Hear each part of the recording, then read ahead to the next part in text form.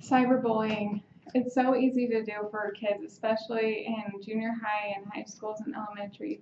There's so many things that they can compare themselves to others with and um, their rank and grades, whether it be grades or social status, if they're richer than the other kids are, or um, how many friends that they have.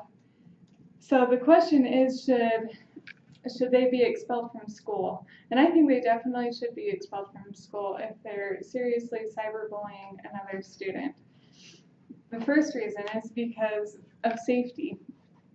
This kid who's being bullied, even though the bully may be too afraid to say anything at school to them to intimidate them, every time that they see that bully, they're going to have that same feeling that they had every time that they bullied them online and it's a safety issue. They could commit suicide just from having that um, that being as a person, that being of such terror and just being so scared everywhere that they go at school, they could commit suicide. The bully could actually hurt them, arrange for other students to hurt them, and it's important for every student to feel safe at school so they they should definitely be expelled. And the second is for uh, psycho emotional development.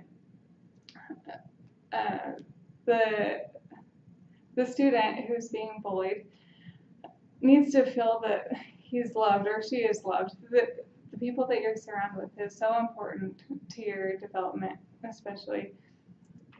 It can determine whether you are successful in the things that you do or if you back off and to, are, are too afraid to try and the different things that come up in your life.